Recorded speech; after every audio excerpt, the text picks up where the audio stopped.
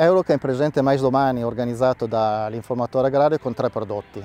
Ente 2515, prodotto da localizzare con l'inibitore della, della, nitrificazione. Ente 46 a base ureica, sempre con eh, l'inibitore della nitrificazione da dare in eh, post semina o altrimenti in questo caso è stato dato anche in presemina e UT46 con l'inibitore del, dell'ureasi. Nelle parcelle che adesso andremo a visitare eh, vediamo la differenza intanto tra la parcella non concimata e quella concimata, quindi si vede già un aspetto diverso della pianta che comincia già ad assorbire gli elementi nutritivi. Una parcella che abbiamo messo in questo campo è, è stata fatta con un prodotto localizzato è l'Entec 2515, una frazione azotata con eh, azoto nitrico e una frazione azotata con azoto ammoniacale, esattamente l'11% e il 14%. La differenza qual è? È che è stato eh, inibito anche la, la frazione ammoniacale in modo da dare un seguito maggiore alla pianta in base alle proprie necessità, specialmente nelle primissime fasi di sviluppo della, della pianta. Non ultimo, l'aspetto anche più importante, che eh, c'è anche una parte di, di, di, fosforo, che è un 15%, molto solubile. Attenzione